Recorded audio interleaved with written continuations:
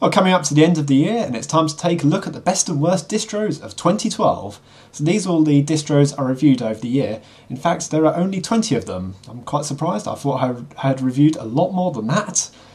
Anyway, these were the 20 distros I reviewed, uh, predominantly Ubuntu based. So, in third place, with a score of 90%, it was Linux Lite version 1.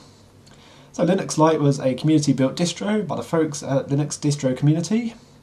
They had put together what appeared at first glance to be a fairly plain, dull distro, but they'd done a lot of little features to make it more user friendly for a new Linux user, such as naming all the programs after the function they did, adding in a few terminal scripts that actually just got on and did the job and were probably a lot more friendly than a new user just typing in a command in the terminal, which may or may not have worked for them, but and including just about everything that the new user would need out of a Linux distro.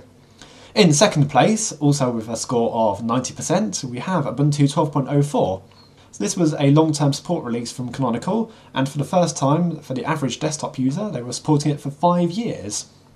Okay, it was Unity Desktop again, this is what I have here, so either love it or hate it. Well, I love it.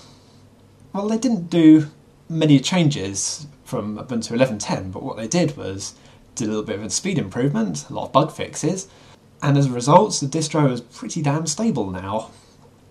And in fact, as a bonus, we're now getting Steam being developed for Ubuntu 12.04. It'll work for some other distros, but their but their predominant platform they're developing for is Ubuntu 12.04. And now let's look at the other end of the table before we go to the first result. So, in 17th place, third from the bottom, we have Xtix 10. This was a GNOME based distro that was styled to look like Mac. But what they had failed to achieve here was much in the way of stability. And as a result, well, there were a lot of bugs, there were a lot of stupid features that shouldn't have existed, like failing to hold your name from the install point to the actual operating system, made me give it a mark of 70%. Second from the bottom, in 19th place, much to the disgust of many people, was Linux Mint 14. Sure, they had done a lot of improvements on the user interface, both on the Cinnamon and Mate desktop. But what they had failed to do was build it on a decent, solid platform, because they had built it on Ubuntu 12.10, which had a rubbish kernel, and it was not just rubbish for me, it was rubbish for a lot of people. It was a well known issue as they were developing it. They did nothing to solve it, and of course, the unique way that Mint do their updates is the kernel will never be fixed. Bit of a bad problem there.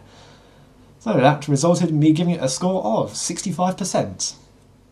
And bottom of the barrel, no surprises here. In 20th place, also with a score of 65%, is Ubuntu 12.10. What has to be the worst release of Ubuntu to date? Yes, as you heard, they already had a rubbish kernel, there was a lot of issues with stability, crashes. Weirdly, if they had stopped development about ooh, two, three weeks before final release, certainly in the beta 2 stage, they would have been a lot further up the table. And also with the unique problem of failing to include the kernel headers package for anyone installing the NVIDIA or AMD proprietary graphics drivers, it resulted in a blank desktop when you rebooted. Yes, Canonical, gotta hand it to you on that one. Clap, clap, clap. Slow applause for them. And it was even more damaging for their reputation with the release of Windows 8, right round here. So anyone who didn't like Windows 8 thought, hmm, what's the alternative? Oh look, Ubuntu. Let's download this. Oh, I'm not going near Ubuntu again. That's done a lot to damage Ubuntu. Anyway, enough of the bad news. In first place, with a score of 95%, we had Zorin OS 6 Ultimate. I love this distro for its looks changer. You could switch between XP, Windows 7, Mac, GNOME Classic, or Unity desktops, all quick and easily. It came with a decent selection of programs, and it just worked. It was great distro. So that's the list. Now, ones to look for next year. I'm actually putting only one on the list here because I don't want to make this video too long. And that is Elementary OS. I'm absolutely impressed with that so far with it in VirtualBox. Honestly, the distro flies like no other distro has before. It makes Bodhi Linux look slow, and that's one of the lightest, fastest that I've used so far. And they've done a really good job of getting quite a few of the applications styled like each other and styled with the with the operating system. So like the config button was on one side and it looked the same. You had the same styling with the buttons. It, it just looked fantastic what they had done. So I can't wait to see what that looks like. Hopefully they do release it in 2013. Let's hope there are lots of good distros to come in 2013. I shall endeavour to review a few more of them than I did uh, this year. But I shall leave you the list of the 20 that I did review. Uh, no, Happy New Year, and I shall see you all later.